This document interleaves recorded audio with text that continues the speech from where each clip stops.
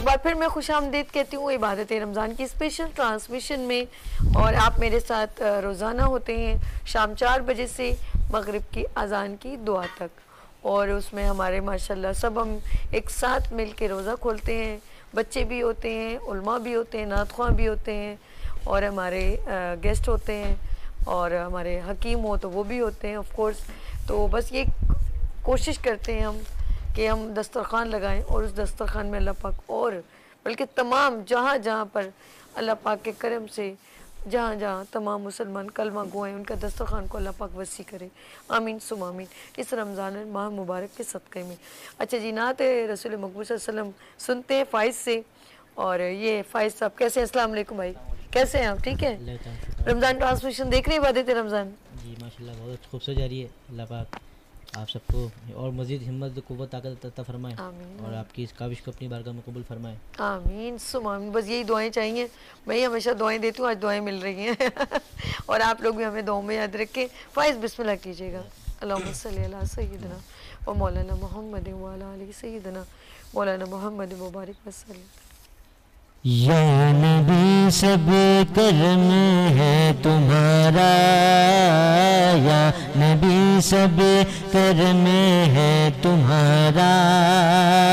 ये जो वारीन रे हुए हैं, या नबी सब कर्म है तुम्हारा।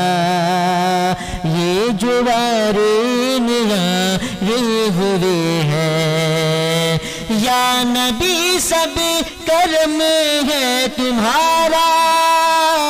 ये जवार नियारी हुए हैं, ये जवार नियारी हुए हैं, अब कमी का तस्वर भी कैसा? हाँ कैसा अब कमी का? तस्वर भी कैसा? जब से मंगते तुम्हारे हुए हैं। अब कमी का तस्वर भी कैसा? जब से मंगते तुम्हारे हुए हैं। कोई मुना लगाता था हमको। पास तक ना बिठाता था हमको। पास तक ना बिठाता था हमको। जब तक बिका न था तो कोई भी पूछता न था। जब तक बिका न था तो कोई भी पूछता न था। तुमने खरीद कर मुझ अनमोल कर दिया। कोई मुना लगाता था हमको। पास तक ना बिठाता था हमको। पास तक ना बिठाता था हमको जब से थामा है दामन तुम्हारा मेरे आका जब से थामा है दामन तुम्हारा तुम्हारा जब से थामा है दामन तुम्हारा। ये दुनिया वाले हमारे हुए हैं। या नबी सब कर में है तुम्हारा। दूर होने को है अभी दूरी। उनकी चौकट की होगी हुजूरी। उनकी चौकट की होगी हुजूरी। ख्वाब में मुझको आका के दर से हाथ से ख्वाब में मुझको आका के दर से। हाजिरी के इशारे हुए हैं ख्वाब में मुझको आका के दर से। हाजिरी के इशारे हुए हैं हशर की रोज जब मेरे आका उन्नति की शफात करेंगे उन्नति की शफात करेंगे। हशर की रोज जब मेरे आका उम्मती की शफात करेंगे उम्मती की शफाअत करेंगे। रब कहेगा, इन्हें मैंने बख्शा रब कहेगा, इन्हें मैंने बख्शा जो दीवाने तुम्हारे हुए हैं, रब कहेगा, इन्हें मैंने बख्शा जो दीवाने तुम्हारे हुए हैं उनके दरबार से जब भी मैंने पंजतन के वसीले से मांगा पंजतन के वसीले से मांगा मुझको खैरा फ़ौरन मिली है मिली है। मुझको खैरा फ़ौरन मिली है। खूब मेरे गुजारे हुए हैं। मुझको खैरा फ़ौरन मिली है। मेरे गुजारे हुए हैं। पंजतन के घराने की बात हुई है। तो पंजतन के घराने में कौन है? फरमाते हैं कि अल्लाह अल्लाह नबी का घराना ये घराना वरा वरा है। ये घराना वरा वरा है। इसमें हसन में है फातिमा है। इसमें हसन में है फातिमा है। इस घराने में मुश्किल कुशा है। ज्ञान भी सब कर्म है तुम्हारा। ये जो वारे निया रे हुए हैं। सैदना व मौलाना मोहम्मद वाला अली सैदना मौलाना मोहम्मद वबारक वसलम हमारे साथ दूसरे सना ख्वा मौजूद है माशा बहुत प्यारी आवाज़ है उनकी जो फैसल महमूद से मैं गुजारिश करूँगी नात रसूल मकबूल सल्लल्लाहु अलैहि पेश कर जी अज़बिल्लिमिनशैतानरजीम बसमीम अल्लाम वबरकातुहू सल्ला अलैका या रसूल अल्लाह सल्ला अलैका या रसूल अल्लाह वसल्लम अलैका या हबीब अल्लाह चलो दे यारे नबी की जानिब। चलो दे यारे नबी की जानिब। दुरूद लब पर सजा सजा कर बाहर लूटे। गे हम करम की बाहर लूटे। गे हम करम की दिलों को दामन बना बना कर। सल्ला अलैका या रसूल अल्लाह वसल्लम अलैका या हबीब अल्लाह ना उनके जैसा सखी है कोई, ना उनके जैसा सखी है कोई, ना उनके जैसा वली है कोई, वो बेनवा हो जगह से वो बेनवा हो को हर जगह से नवाजते हैं। बोला बोला कर सल्ला रसूल अल्लाह वसल्लम अलैका या हबीब अल्लाह मैं वो निकम्मा हूँ जिसकी झोली। मैं वो निकम्मा हूँ जिसकी झोली। मैं कोई हुस्न अमल नहीं है। मैं वो निकम्मा हो जिसकी झोली में कोई हुस्न अमल नहीं है, मगर वो एहसान कर रहे हैं, मगर वो एहसान कर रहे हैं। खताएँ मेरी छुपा छुपा कर सल्ला अलैका या रसूल अल्लाह वसल्लम अलैका या हबीब अगर मौका दे नयावरी के अगर मौका दे नयावरी के अगर मदीने गया मैं खालिद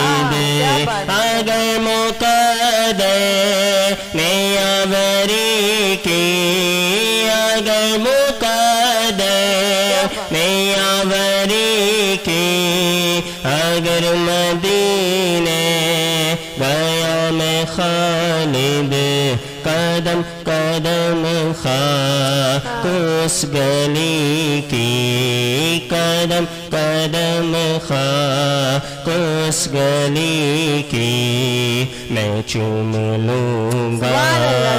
उठा उठा कर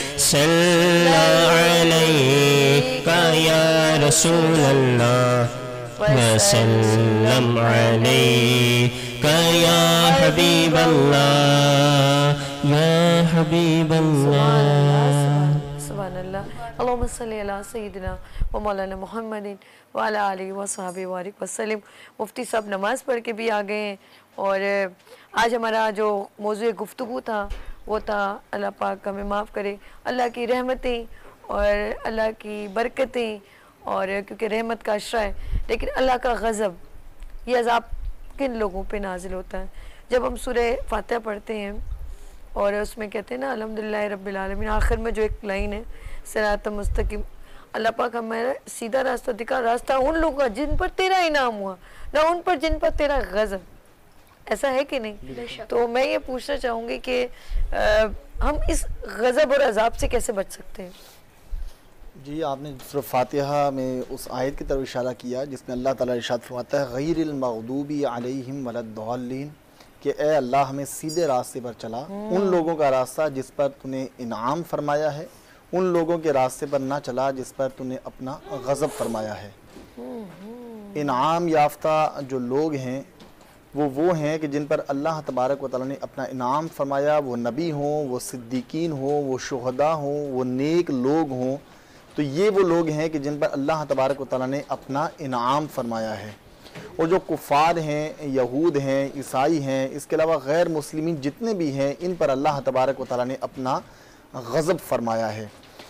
जिस तरह आपने सवाल किया कि हम किस तरह अल्लाह तबारक ताली की रहमत तलब कर सकते हैं तो अल्लाह तबारक ताली की रहमत तलब करना बहुत आसान है।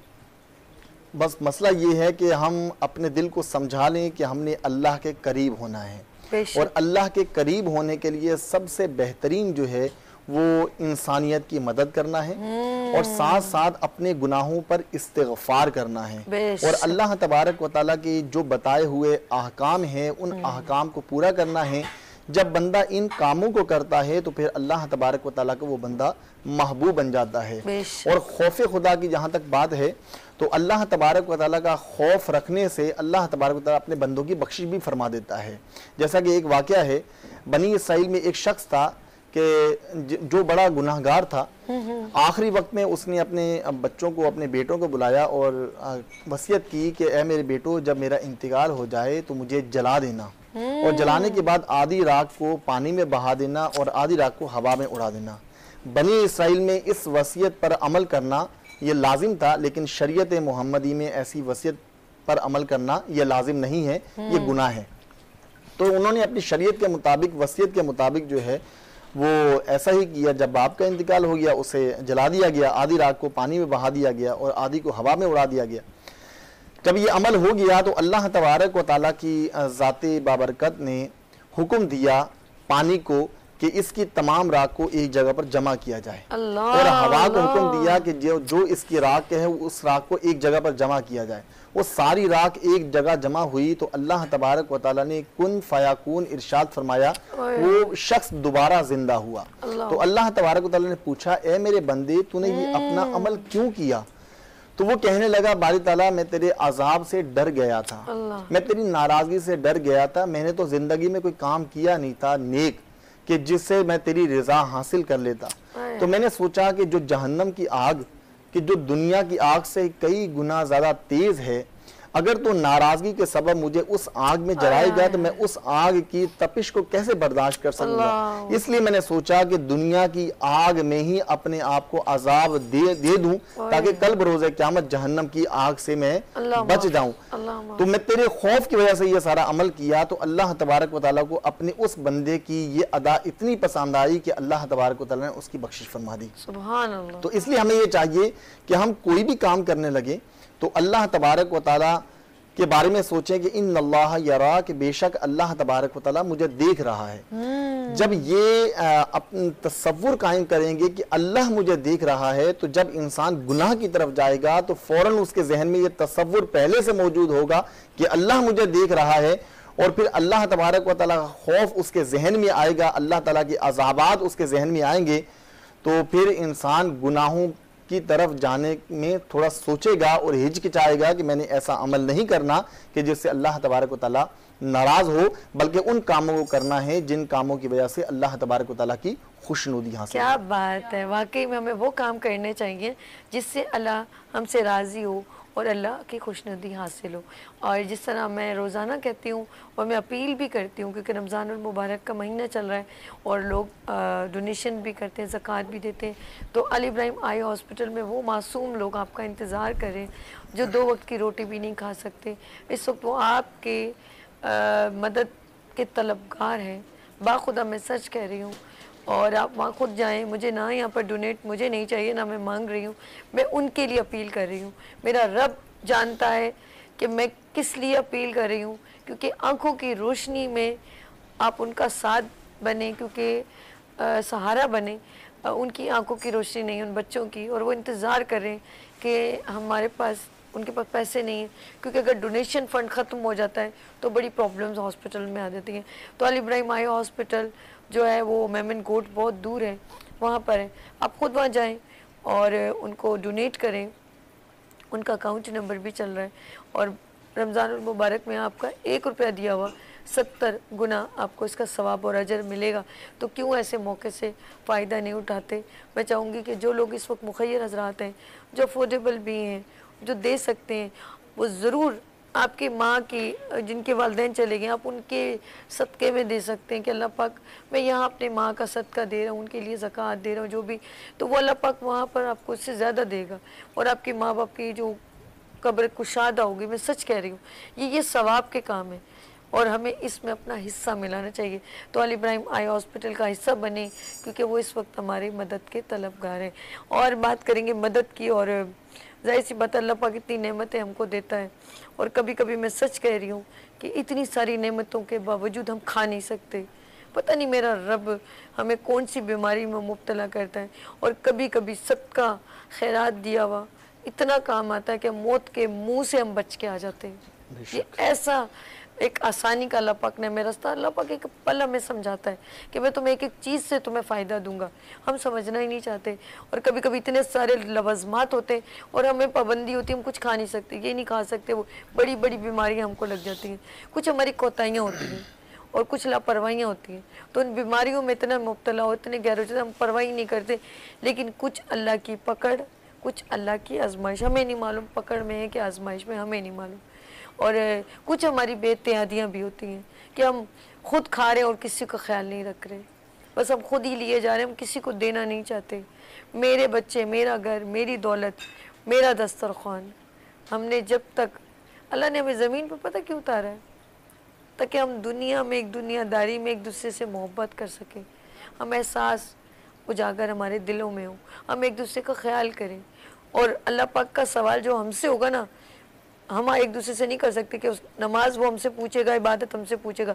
लेकिन दुनिया में जब एक दूसरे को तकलीफ़ देंगे ना, वो वो यहाँ पर ही ख़त्म करनी है। अगर हमने उसके अपना तकलीफ़ लेके चले गए बदुआ लेके चले गए ना, इसका मामला ने अल्लाह ने अपने से दूर रखा है कि तूने उससे माफ़ी मांगी, तूने उसको माफ़ किया तो फिर ये मामला यहाँ ख़त्म करना है। तो यहाँ की वहाँ जाने के लिए हमने यहाँ से कैसे तैयारी की, ये आपने सोचते हैं। तो अल्लाह पाक हम सबको जो ये अल्लाह पाक के हर मौसम की नेमतें हैं, अल्लाह पाक हमें खाना नसीब करे। सम टाइम हमारे सामने चीज़ होती है, हम खा नहीं पाते और कुछ बीमारियों में मुबतला होते। हैं बीमारियों की बात करूँ और हमारे नबी वसल्लम तब नबी में कुरान पाक में अंजीर का ज़िक्र है, जैतून का ज़िक्र है, खजूर का ज़िक्र है और कलवंजी का ज़िक्र है।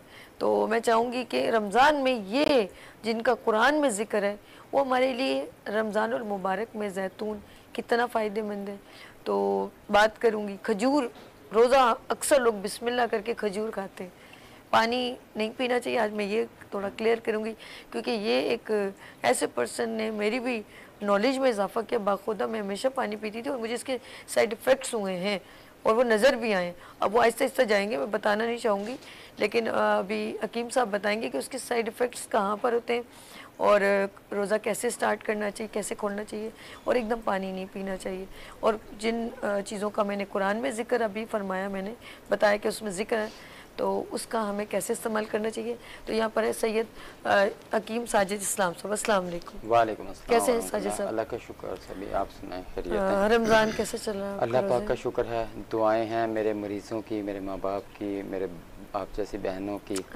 अल्लाह का शुक्र है अलहमदिल्ला बहुत अच्छा गुजरा है और ऐसे ही गुजरा है कि खुद भी इफ्तारियाँ कर रहे हैं और करवा भी रहे हैं और सैरियाँ कर भी रहे हैं और करवा भी रहे हैं। जितनी नेमतें हैं अल्लाह की जल्दी जल्दी समेट रहे हैं। ये आपकी बात जो मैं कंप्लीट करता चलूँ मुझे बहुत ज़बरदस्त ये बात लगी है कि मनी साहब सुनेंगे आप भी मैं मफहूम एक आयत का बयान कर रहा हूँ कि अल्लाह तबरक ने फरमाया खाओ पियो लेकिन इसराफ नहीं करो। हम्म। खाओ पियो लेकिन इसराफ नहीं करो।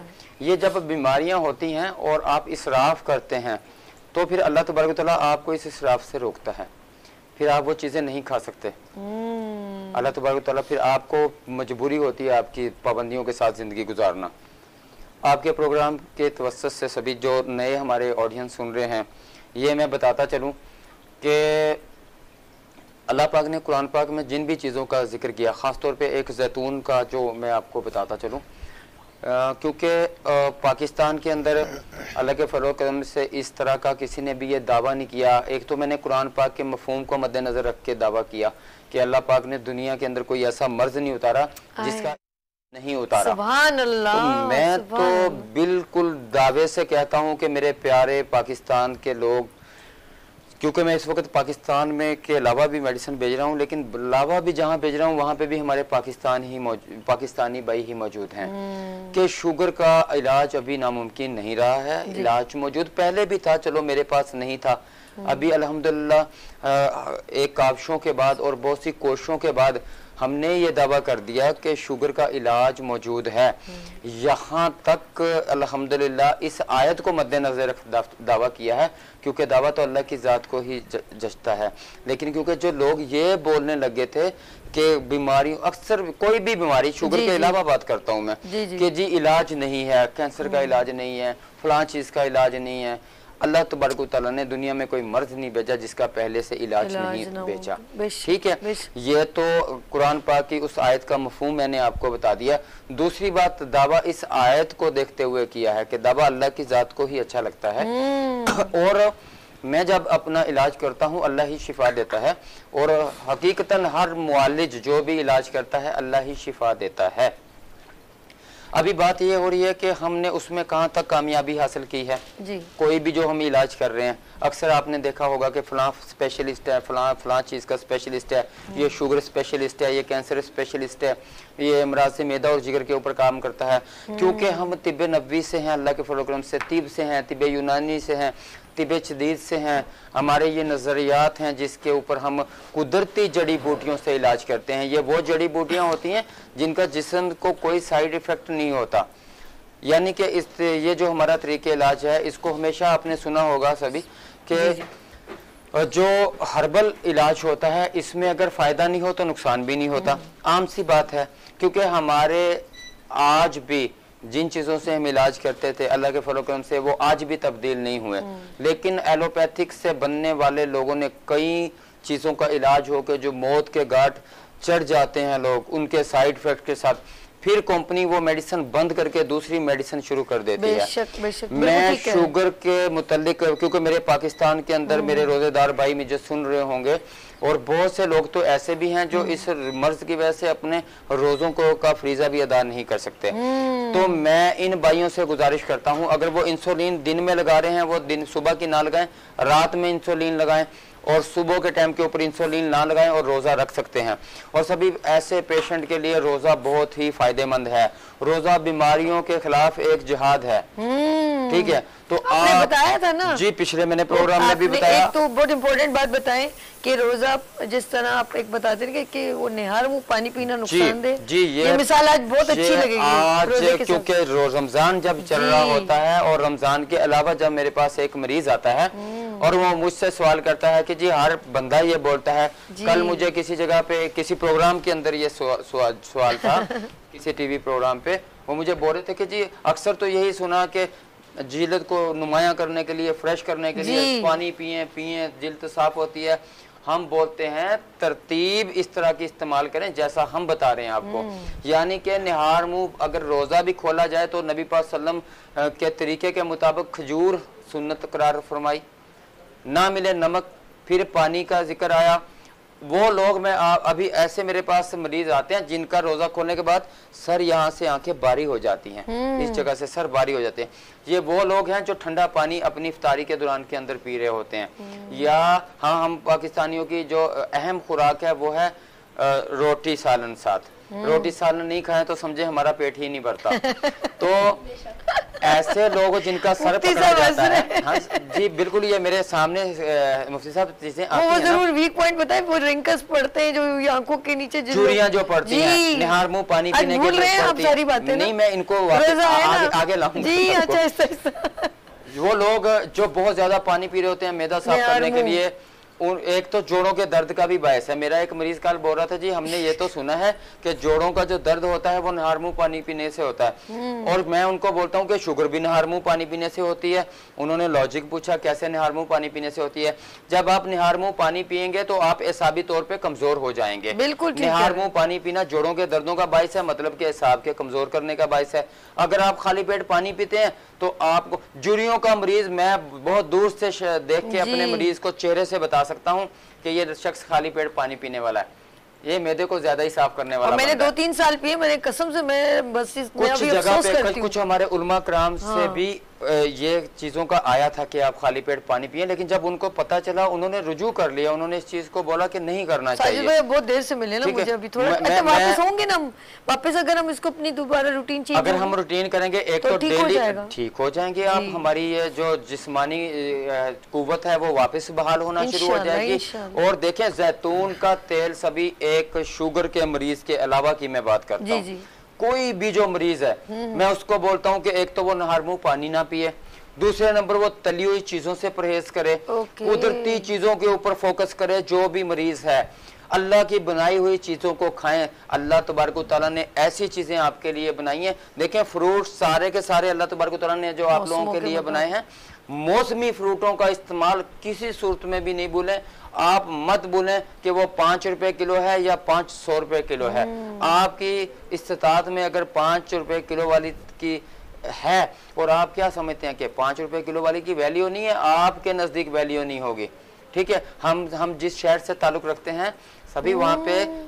किन्नू बड़ा ज़बरदस्त होता है सरगोदा शहर से। आए आए। तो हम जब बचपन में थे अच्छा वो बता दिया आपने। जी मैं बचपन में था। जी, जी। आ, ये तोहफे तायफ हमारे पास आते रहते हैं। मेरे अपने कज़न मेरे चचा बहन को ना भूलिए करते हैं। बिल्कुल नहीं भूलेंगे।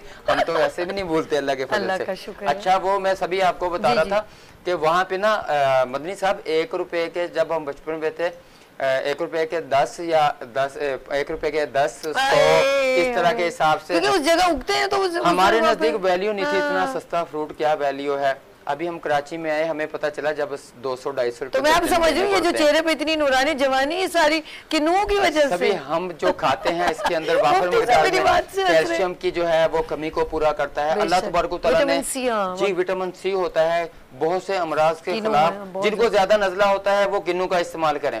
दिन के अंदर किन्नू का इस्तेमाल हम्म, करें ठीक है? अभी हम इस तरफ़ आ रहे हैं कि मरीज़ जो हैं कौन सी चीज़ें उनको नुकसान दे सकती हैं? अभी भी मैं इस प्रोग्राम में लेट होने की वजह एक ऐसा सीरियस मरीज़ था जिसका मुझे जान का मसला था कि वो इतना परेशान था कि एक सेकंड के अंदर वो औरत अपने सीने पे हाथ रख के ये बोली थी कि मेरा सांस निकल जाएगा। तो मैंने प्रोग्राम को तरजीह नहीं दी और मैंने उस मरीज़ की हालत को तरजीह दी। तो माजरत प्रोग्राम में लेट होने के लिए भी। तो मैं ये बताना चाह रहा हूँ आपको अल्लाह के फलो करम से वो वो रोज़ा रखने के काबिल नहीं थी जी उसकी हालत इस तरह की थी। मेरे पास बैठे बैठे मैं उसकी दुआओं के साथ अलविदा होके इधर की तरफ़ आया हूँ। अल्लाह, के फजल से। कि मैंने उसको बोला कि अल्लाह तबारक ताला की ज़ात ही है जो शिफा दे सकती है। हुआ क्या था उसे? हुआ ये था कि उसको वो बहुत अरसे से घूम रही थी उसके जिगर का मसला था। ठीक है और उसकी हालत ऐसी थी कि उसके जिगर हेपेटाइटिस था जी उसको हेपेटाइटिस सी था अच्छा, उसको। जिगर खून नहीं बना। जिगर। खून बना ही नहीं रहा था जाइयाँ उसके चेहरे पे वाजिया थी येलो येलो जो है उसका फेस पूरा था हम्म। और इतना सूख के तीला हो गई थी वो मुझे बता रही थी कि मेरी एक बेटी को खसरा हुआ था तेरह साल की अच्छा। उसके बाद में मुझे इस तरह का ये प्रॉब्लम हुआ और मैं उसके बाद सरवाइव नहीं कर पाई हम्म। तो वो तेरह साल की बची थी और मैं मालजीन से दरख्वास्त करता हूँ खुदारा कि अगर आपको किसी के ए, किसी के साथ इस तरह का प्रॉब्लम पेश आ रहा हो कि आपको अगर पता नहीं है तो आप दूसरों की तरह रेफर कर दें आप बिल्कुल से अगर आपको कंफर्म है कि आप इस बीमारी का इलाज कर सकते हैं okay. और आप उसको टाइम दें कि यदि आप दो दिन तीन दिन में मेरी दवाई को देखें अगर आप सरवाइव कर पा रहे हैं ठीक है? नहीं तो आप अपने से अच्छे हकीम की तरफ़ आप रिकमेंड करते हैं किसी अच्छी तरफ़ देखें बीमारी की नोयत को देखा करें। और मैं तो सभी अल्लाह का एहसान है शुक्र है। मैं ऐसे मरीजों को पकड़ता हूँ बिगड़े हुए अमराज का इलाज करता हूँ बस मैं ज़्यादा नहीं बता सकता आपको कि अगर किसी हॉस्पिटलों की तरफ़ से अभी एक हेपेटाइटिस का मरीज़ मेरे पास चल रहा है और मुख्तलिफ़ शहरों से जब उनके मुख्तलिफ़ रिश्तेदारों का इलाज हुआ तो ये कराची में ही मुझे मिले। यूनस साहब नाम है इनका। अच्छा इनका ये कोई वाक्य आप सुनाना चाह रहे हैं? जी, मैं वाकया अच्छा ये सुना छोटी सी तीस सेकंड की सेकंड की ब्रेक है। जी नाजी यहाँ पर छोटी सी ब्रेक लेते हैं मिलते हैं ब्रेक के बाद इबादत रमज़ान के साथ।